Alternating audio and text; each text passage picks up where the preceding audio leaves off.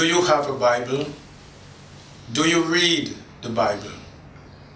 What is your favorite Bible text or Bible verse?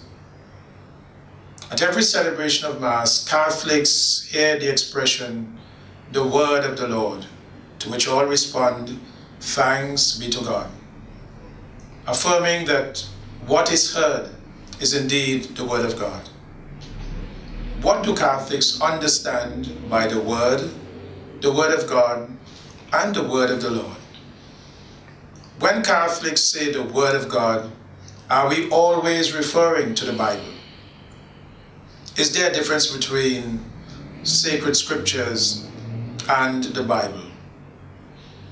It is not unusual to hear the expressions the Catholic Bible or Catholic Bible and a Protestant Bible.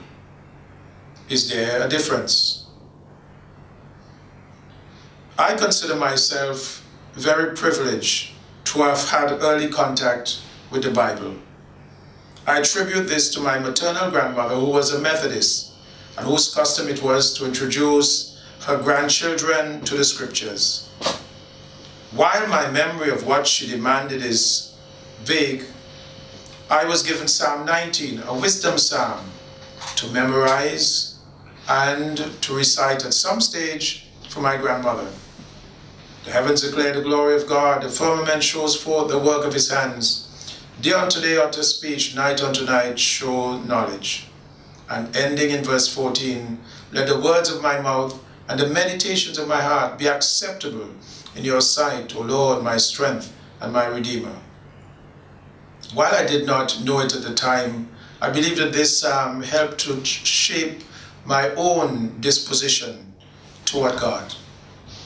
In my young adult life, my grandmother also introduced me to Romans 8, a favorite text of hers. And the last verses, verses 38 and 39, are on my ordination card. For I am certain of this, neither death nor life, no angel nor prince, nothing that exists, nothing still to come, no power, no height, no depth, can come between us and the love of God made visible in Christ Jesus the Lord. Father Vibert, I'm happy to share this Bible moment, this Bible conversation with you. Now, I have mentioned the expressions Catholic Bible and Protestant Bible. Is there really a difference or um, are we talking about the same reality? Yes, so we can say both Catholic and Protestant uses more or less the same scripture, but with some fundamental differences.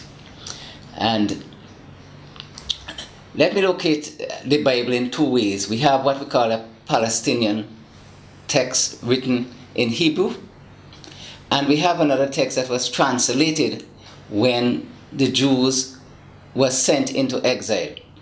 So they want to have the language of the scripture in the language of the people that they live among after many centuries, since many of them did not know Hebrew. Therefore, it was translated in Greek. That is called the Septuagint. Now, while they were in exile, they also continue to write their story about how God has been with them on the journey. And as a result of that, several other books, seven to be exact, were included in the Septuagint. So, for instance, the book of Tobit, Judith, Esther, Maccabees, and so on. And so these books were mentioned, uh, were placed within the what we call the canon of scripture because they contain the experience of the people that God did not stop journeying with them when they were in Palestine, but God continued to be with them in exile. Now, those books are very important from a Catholic standpoint, and they may in the past, I say may in the past, would have had very little value for the Protestants. For Catholics, they were very important because, first of all, the book not only records the difficulty, the persecution, and so on, and the struggles the Jewish people experienced during the time in exile, but it mentioned, for instance, three significant points.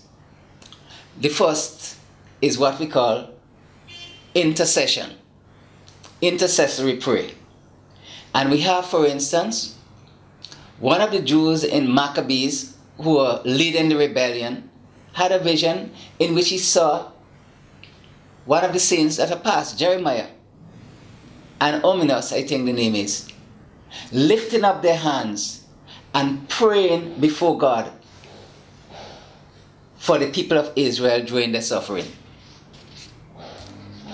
Then we also ha- had not just the intercession, but the praying for the dead. Now, what is all that about? It is customary among the Gentiles that during a time of war, persons who are killed were left to decay or just burnt, and their remains stayed there. Many of the Jews were slaughtered, and many of, of the, the people, knowing the importance of life, the importance of the human body, and had a vision of something else with God, decided that they were going to do something. They were going to gather an offering or collection so that they can bury the dead, even under assault by the enemy. Because they believe that the body was made by God, that the human person is not just flesh and blood, but the whole being were created and were very important for the divine. And therefore, they felt that they must give honor. So they took the bodies and gave them a proper burial. Because they believe that God, who gave them life, will one day again give them, um, and someday in the afterlife or the resurrection, give them life again. That takes me into the most important points about those books. So we have the book of, for instance, Tobit or Maccabees, mentioning about burying the dead and the, the importance of the sacredness of the, the person who died. But also we have the mention about the resurrection. So though in the Hebrew text we have mention of the afterlife or the resurrection, these books were very explicit. For instance, we know the story in the book of Maccabees of the mother who witnessed her seven sons being slaughtered in different ways under persecution. And she encouraged her son, her sons not to give up, but to offer their body because they must not divert from obeying what God wants them to do. And that the God who gave her life and enabled her to bring them into the world will also give them life on the day of resurrection. That is wonderful. Now, from the standpoint of the Protestant, you will know that intercessory, um, rather praying for the dead, is a fundamental problem. Say, when you're dead, you're done. But here we have some scripture that are considered valid and inspired by the Lord. That here is mentioned about praying for those who have departed. Here we have the intercession of saints. Jeremiah died many centuries ago. And yet we have Jeremiah in heaven, as it were, offering up praise for those who are not. So the, the books are fundamentally different from the standpoint of what we have in also included from the Greek standpoint into the text itself. So, Father Mike, we are dealing fundamentally with what we call canon of scripture. And the canon of scripture is a collection that is considered authoritative, that are considered um, inspired, and to be used in the assembly. Now, the Hebrew text does not include the seven books, and therefore it's a shorter canon. The Greek text is a longer canon because it includes these books. Theologically, Protestant choose or even Catholic choose the canon to prove or to establish particular theological point. Since praying for the dead and so on is not emphasized in the in the Hebrew canon, Protestants therefore follow the pattern that there is no need to pray for the dead. Catholics, on the other hand, know of a tradition that offers pray for the dead and therefore gravitated towards the longer canon. In fact, let me say quite plainly that it is not that the Catholics have one canon, we honor and we use both canon of scriptures in our theological development, in our explanation of scriptures. But we also take a preference to the Greek canon because the Greek canon also is presented in such a way that it has what we call messianic ideas. That is, it speaks about a promise and it shows the fulfillment of the promise right through that particular text. Going into the New Testament, where Jesus Himself um, became flesh among us, that God made a promise that He will save us, and the Savior is being manifested in Matthew, for instance. Now, the Hebrew canon, one of the important theological issues there is that while it speaks about God's presence and about God walking among its people, it also speaks about God coming to inaugurate his kingdom. But the inauguration of the kingdom, from the Hebrew standpoint, will only take place when Elijah comes. So it ends with Cap Chronicles, encouraging people to be engaged and to prepare themselves and to work. And we also have the prophets, Malachi, ending with the words, Come Elijah. Now, in the Greek canon, we go beyond that. Not just do we say, Come Elijah. In fact, we say, Elijah has come in John the Baptist. And John the Baptist says, I am not the one, but there is someone coming after me. I am not fit to undo his sandal.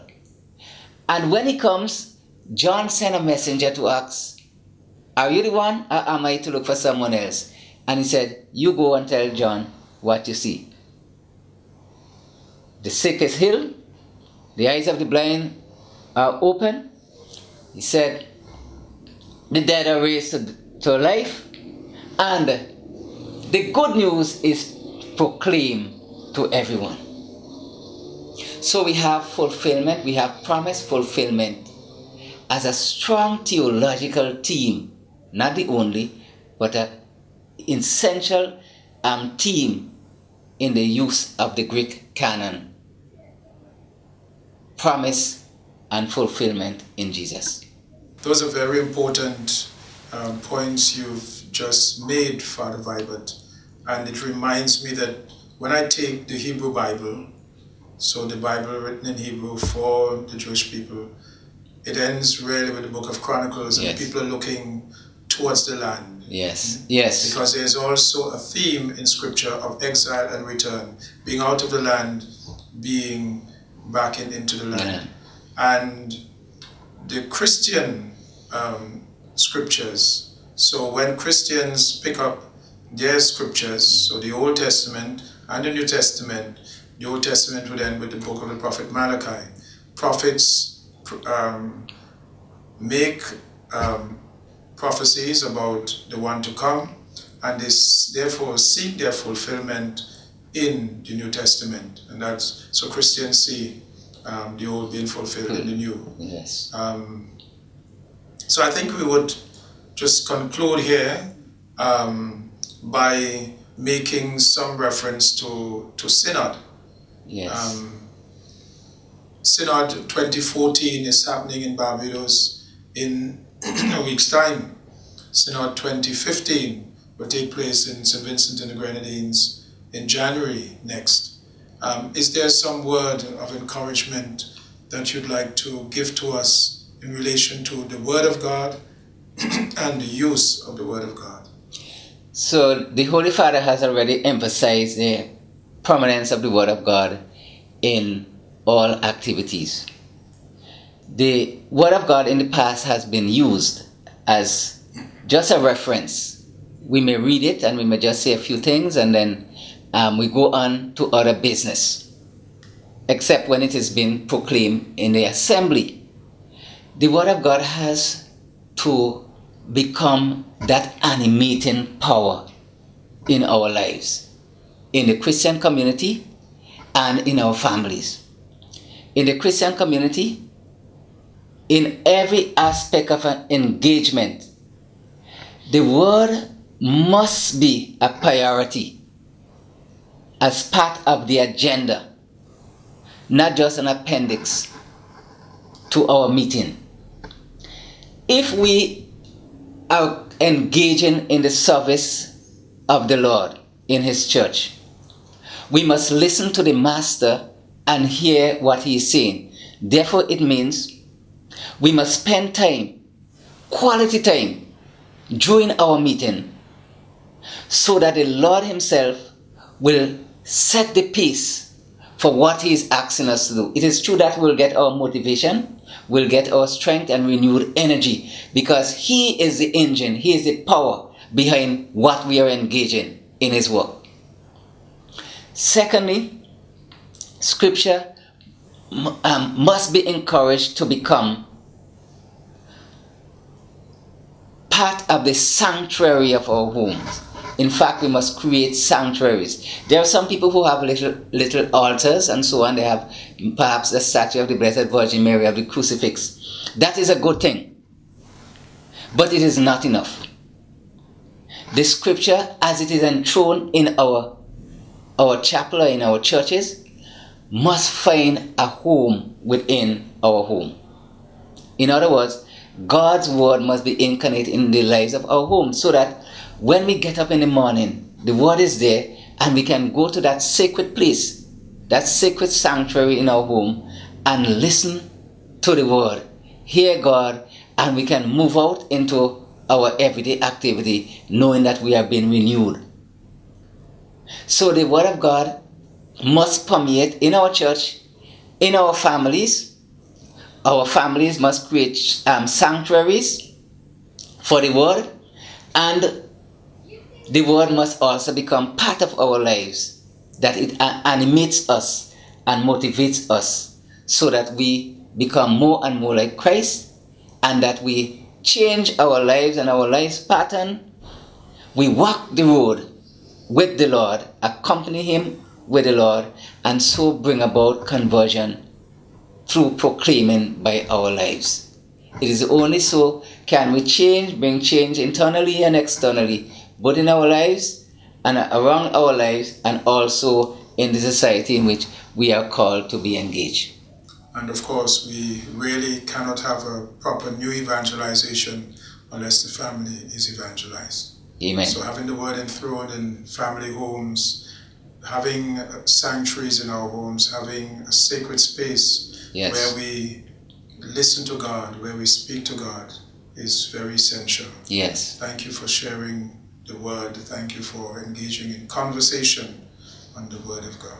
Thank you, Father Michael, and thank you especially for sharing um, your experience of the encounter with your grandmother and how she taught you. And I think we need to have many more grandparents and parents doing this to their children so that the word can become part of our lives. Thank you so much.